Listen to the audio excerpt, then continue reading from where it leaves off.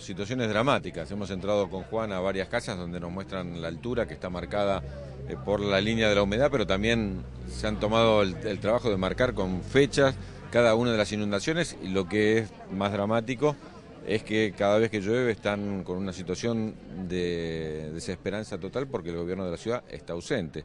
No solo está ausente porque pagó solo el 30% de los subsidios comprometidos, sino porque sigue avanzando el tiempo y siguen sin hacerse las obras y realmente la situación de las familias, de los que se tuvieron que mudar, de los que hemos visto aquí con casas totalmente deterioradas, es gravísima. Parate a dónde te llega el agua, correte para que se vea, para que se vea la fecha. Este, es necesario que vean un estado de la ciudad presente, no en obras de maquillaje, como nos mostraban la abertura de algunas alcantarillas, y el caño sigue siendo de la misma dimensión, con lo cual sabemos que por allí no se va a escurrir más agua, este, sino con obras profundas como las que necesita la ciudad. Y hay que decirlo, la ciudad tiene en los últimos seis años el récord de recaudación, tiene los recursos para hacerlo, 47 mil millones de pesos es el presupuesto de la ciudad. Tiene que decidir si lo hace para obras que solamente sirven de maquillaje y para aparecer como que están trabajando, como nos pasó que para llegar acá estuvimos dos horas, porque el tránsito de la ciudad está totalmente colapsado, porque quieren hacer las obras, este, aún las que paralizaron desde mucho tiempo para inaugurar en forma electoral. Eso colapsa, no sirven hacer túneles aliviadores. Justamente que hay un informe de calidad de agua que atraviesa la ciudad, que es del año...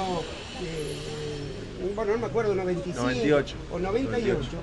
Justicia este, al fuero eh, penal y, eh, y, te presentas contra la ciudad y contra eh, el DOT por no por la Recordamos hacer una mesa de trabajo para que lo que no está resolviendo la ciudad, la nación, analice la forma de articular entre los municipios del Gran Buenos Aires y la ciudad de Buenos Aires alternativas a este problema. Las cuencas, como el tema ambiental, como el tema del transporte, como todos los temas de la seguridad, son temas metropolitanos, mientras que tengamos una conducción de la ciudad de Buenos Aires que piense que es una ciudad que por ser autónoma significa que es autónoma del país, no vamos a resolver los problemas. Una, una transformación histórica porque nunca se había este, eh, enfeado o afeado tanto la 9 de julio, cambiado su fisonomía es histórico el cambio de fisonomía de la 9 de julio. Em, es decir, la obra ya está hecha, nosotros nos opusimos, creíamos que no era necesario, eh, creíamos que eh, no era necesario justamente por la línea C del subterráneo que está por, el mismo recorrido por abajo, que hacía falta aumentar la frecuencia eh, de los este, trenes de la línea C para que viaje más gente y más cómoda. En realidad, eh, es una fantasía hablar de Metrobús. Yo no vi Metrobuses. ¿O alguno de ustedes vio Metrobuses en la ciudad de Buenos Aires? No uno ve pasar uno por Juan B. Justo, cada tanto. Lo que hay es carriles exclusivos que se hubieran resuelto muy bien en las calles eh, laterales de la 9 de julio.